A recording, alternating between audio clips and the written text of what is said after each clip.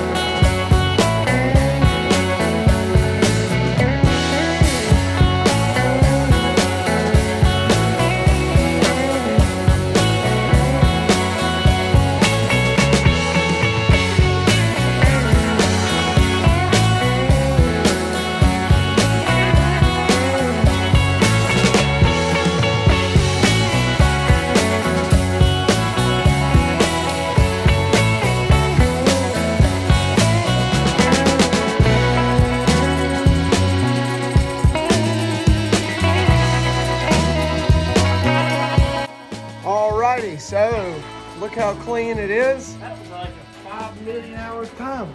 Yeah, I know. Austin hates the long stuff. But uh, you can see the inside is completely cleaned out. 100% welded out. I got the upper bars done. So y'all saw I had to do some modifications and trim them pieces, which is normal for a Dickinson cage. You have to trim these because of how far back and forward you put that. So Dad is going to do one more little bit of touch up on that back uh, B-pillar post back there for the main hoop. While he's doing that, I'm about to come in here and take all of this wiring harness out so that I can tuck it real nice like we did the 8. Get rid of things and zip tie things up that don't need to be in there. And then all this uh, airbag system and stuff's coming out. And then all these wires are getting moved up so there won't be any wires down here. So we'll come back when we're done with that and show you guys how it looks. All right, so huge pro progress update. We got the radiator back in, or that's going in. We got the T-bar bracket in. The seat, the stock seat, Dad is running this stock seat just for this fried bologna. The cage is completely welded. All of the wiring's done, so you guys can see. We got rid of a lot and yeah, this, do not mind that. I know uh, my buddy Steven actually dissected this wiring harness on his and got rid of it. But for now, that's gonna ride. Um, but it's a lot nicer. We did it just like the eight car. So everything is put up nice and neat, up out of the way. Gauge cluster will go right here. And then we'll build our dash just like, you know, the rest of them. But uh, I'm liking it. All we have left to do now is start doing the stuff that I love the most. Put the deck lid on, start sheet metaling, putting the doors on, sheet metal them. Dad got this fender on. We got to put the hood on, put the front bumper on. They've been straightening out some of the bumpers. But the main thing is why they've been, I've been working, Austin's been still super cleaning. So y'all check this out. We got this car. We got the pig, dad's, the Falcon, which the Falcon's looking rough, but she still runs and drives amazing. So a little bit of an update on this. I know that we guys, uh, we told you guys in the last video that Kevin's motor, we will be getting ready to pull in the K9 car. They've got this thing ready to drop in. So K9's car is sitting right over there. That'll be coming in soon. But you can see we've been making more progress on the dirt bringing the dirt in. So now we'll be able to park cars over there when we clean, finish cleaning that. But the pig car is now running and driving. The front end is done. So Austin drove this thing down the street. We have some major surgery work that's got to go on right here. So we'll more than likely do a video on that, just pulling everything out on that. The Falcon needs uh, a whole week's worth of work probably, but um, it's just mainly cosmetic stuff on Austin's. We've got the engine running top notch.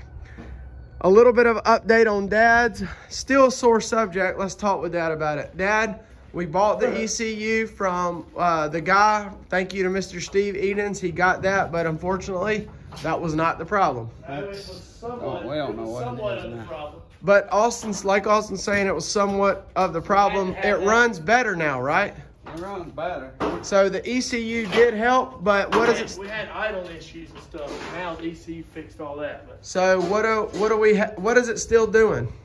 we've got a specialist looking into it.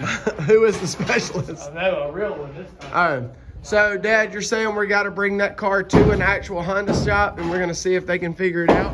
I don't know. It's beyond me. I don't know what to do anymore. But we have one more thing we're gonna try, right? With the fuel pump, Yeah. We're gonna direct wire the fuel pump up and see if that helps out. So. All right, so the next game plan is to try to fabricate this so that it's nice in, in there, right? So it doesn't move and go all over the place. And Dad's gonna get this fender on, and really, like I said, it's just getting everything else ready. So I'm gonna call it a video here. Um, thank you guys for hanging out with us today. We made a lot of progress on this car. We've got to put the door plate on and do a few minor odd and end things. But the next video, hey, do you mind? the next video that you guys see, hopefully this car is done and will be finished. So we'll do one more video of this car with us completely getting it all back together before we bring it and reveal it at the track. So you guys will see it one more time. Y'all be on the lookout for a pig video. Be on the lookout for a canine video. So I can give you an update on them and a pure stock video coming. So uh, this car, you got one more on this car for the final reveal. Canine, pig, and another pure stock. So thank you guys for uh, tuning in. Y'all be blessed. We'll see you guys in the next one.